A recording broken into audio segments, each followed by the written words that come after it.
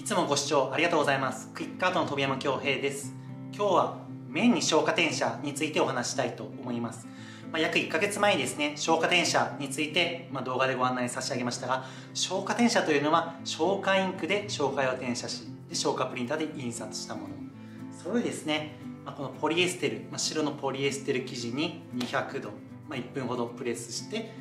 このように剥がすとインクが気化してこういう化学繊維のポリエステルに、はい、定着する染めた仕上がりになる。ものでございます。この柔らかい仕上がりが特徴です。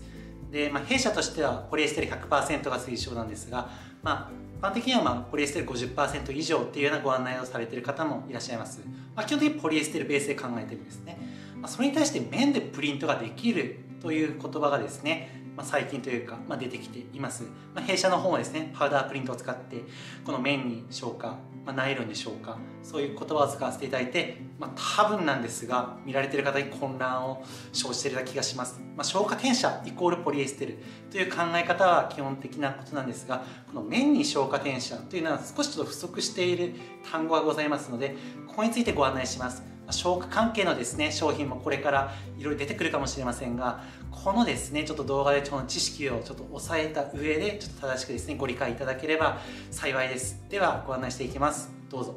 はい。では面に消化プリントについてご案内していきます。まず消化プリント、まあ、ポリエステルと言ったのですが改めて弊社これチラシなんですが消化プリントの説明をします。消化プリントとは消化インクを熱により気化をさせて生地を染めるプリント方法のことです。ポリエステル素材の生地に反応してインクが移行しますと。いうことであくまでですねポリエステルへの転写になっています。ここですねすいません、まあ、ここにですね消化プリントが面生地もできると書かせていただいてるんですがこれはですね表現がですねちょっとやっぱり不足しているんですね。すいません。どういうことかと言いますと、はい。まあ、面生地に消化転写ができるのであれば基本的には消化プリンターで印刷をしたものを200度1分でこの面生地にプレスして剥がすと染まったような仕上がりになるという風にですねイメージされると思うんですがそうはならないんですね。何かしらこの面生地に加工してあげないといけないですねまた消化転写し。で現在ですねこの面に消化転写と歌うようなやり方は2通りございまして1つがですねパウダープリントでございます。まあ、パウダープリントシートで印刷をしてこのパウダーの粉をかけてプレスすると面に転写ができるもう一つはですねこの面生地にですね、はい、あの樹脂系のものを塗る。でそれでプレスして定着させるでその次にですね消化転写消化インクで印刷をしてプレスするというやり方でまあ面生地に消化転写というのが不足しているということなんですがどういうことかと言いますと基本的には面生地の上に定着したアクリル系ポリエステル系樹脂、まあ、樹脂と言います。面生地の上の樹脂に消化転写をしてるんですね。生地に消化転写をしてるわけではないんですね。これは結構大事なポイントかなとちょっと個人的に思っています、まあ、どうしどういうことどういうことかと言いますと、まあ、消化転写というのはどうしても染まった仕上がりっていうことでですねあの好評を得てるんですがあくまで樹脂系のものに転写させているので、まあ、同じ仕上がりではないですよという認識をですね持っていただきたいなと思います。これがですね、まあ、実際触ったりしないとわからないところですので、まあ、この動画でそこまでですねお伝えできればと思います。で、まあ、この方法なんですが2通りあると言ったんですがまずはですねこの塗って、はい、樹脂系のものを塗ってそれで転写させる消化転写させる方法をですねご案内します。こちらですね、まあ、報告書がありますのでこれでちょっと解説していきます。そして次はですね、まあ、兵士のパウダープリントで解説をしていきます。面生地の上の樹脂への消化転写についてですねこういった液体アクリル系樹脂をこのコロコロ塗ってそれでプレスして生地と定着させる。でその後に消化転写まあ紙ですね。消化にかけてプリントしたものをプレスして、まあ、面生地の上のアクリル系樹脂に転写させる方法についてですね、まあ、この文がございまして面プレの消化転写プリント。こちらですねネットにございます。面に消化転写。で Google で検索していただくと出てきます。ぜひご参考にしてください。こちら東京都立産業技術研究センターの研究報告。第5本2010年約10年ほど前の記載となっています。一言で言いますとこのやり方でですねはい。まあ、どういった選択権労働を取れるか、まあ、商品として使えるかっていうことについて検証がされています。でこちらですね、まあ、本当に細かく書いてあって勉強になるんですが、まあ、ポイントとしては2つですね記載がございます。まずこの、はい、ドバドバとして塗ってでこの塗ることで、はい、定着は強くなるんですが一方硬くなると、まあ、樹脂系のものは当然なんですがたくさん塗ればですねちょっと硬くなってしまうのでちょっと着心地は悪くなってしまうそういったジレンマがある。という記載がございます。そうですね。あとは選択権ロードですね。こちら変態色3級というふうに出ています。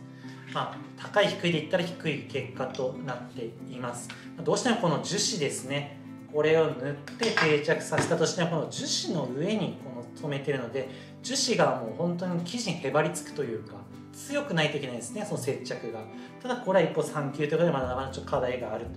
というような記載でございます、まあ、選択に対する選択権労働試験改善が必要な結果となったと。やはりですねこの研究報告としても3級ではですね商品としてはなかなか難しい。っていうような考えでございました。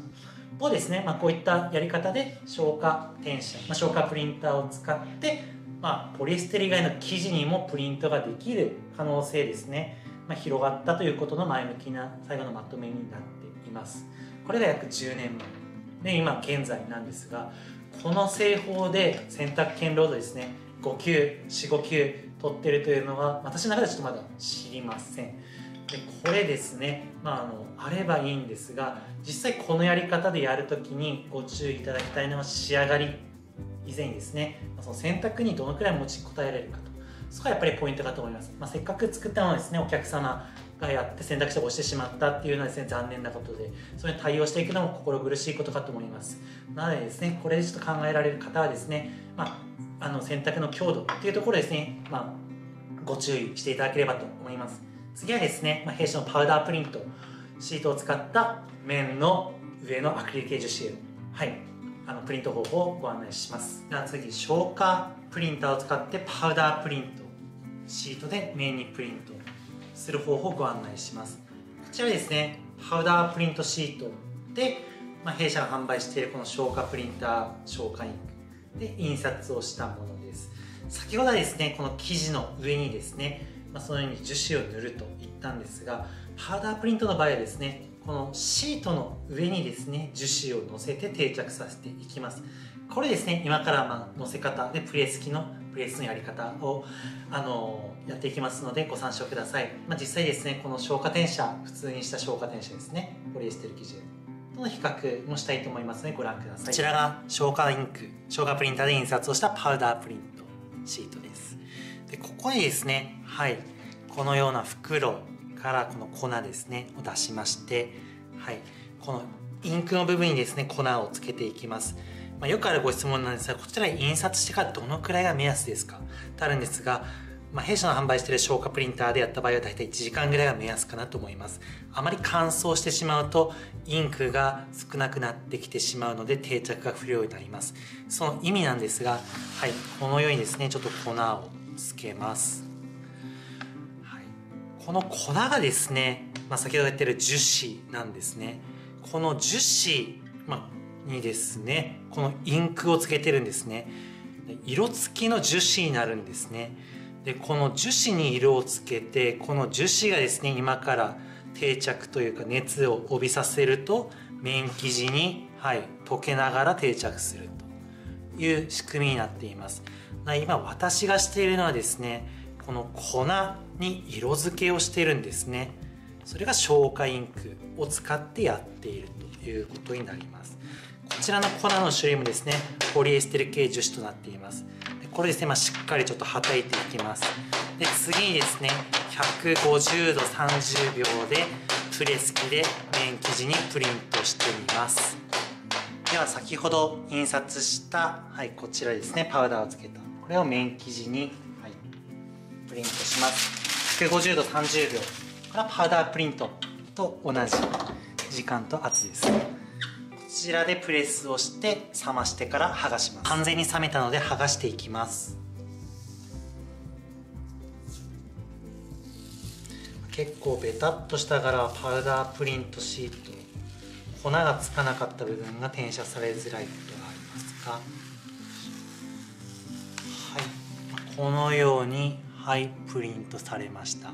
ではまあ早速消化転写消化プリントポリエステルの違いを、えー、ご案内します。では比較していきます。下がですね消化転写紙を使って白のポリエステル生地に消化転写をしたもので上がですね消化インクのパウダープリント。でメインにプリントしたものです、まあ、比較するとですね発色やはり消化転写の方が明るいかなと思います。こちらですね。少しまだなところがありますがちょっとベタなためにですねなったかなという印象です。また柔らかさなんですがこちらですね。消化 白のポリエステルは柔らかいです。一方こちらやっぱりちょっと硬ちょっとやっぱ少しその張った感硬さは少し出ます。で、まあ、洗濯の堅牢度なんですが上のですねパウダープリントを使った方法ですと45級、はい、ちょっと取っております、まあ、先ほどですね比較で3級という話があったんですがこのパウダープリントの比較的、はい、強くなっています、まあ、こちらですねまあ、だけを見ていただいてどうかというところではあるのですが、はい。まあ、こういう副産物としてできますよというところになります。洗濯もはい45級変態色とっています。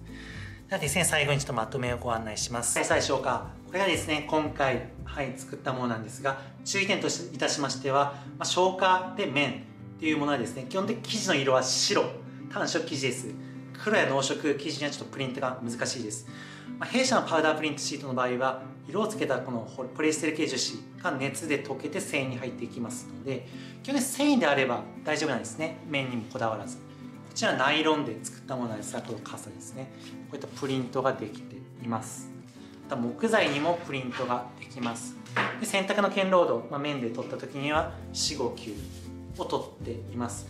まあ、あの顔料インクと何が違うかと言いますと消化インクの場合は熱による変色がないのでその点はですね消化インクでパウダープリントを使った方が仕上がりはいいです。ただ業務で使うといたしましてやはり課題があります。やはりこの印刷をしてこの粉をかける作業性またかけた後なんですがあまり放置しちゃいけないんですね。なので積み重ねるというのはちょっと難しいです。なのでやはりかなり小ロットかなと思います。やはりこの消化プリンターを使っての大量生産というところはやはり本の行であるですね。あのマグカップとかその白のポリエステル系のものタオルとか T シャツとかいろいろあと iPhone ケースなどもありますね。そういったもののプリントがですね基本的に業務の中で少ない少ない上にこの面を軸にしていくとやっぱり不具合が出てくるかなと思います。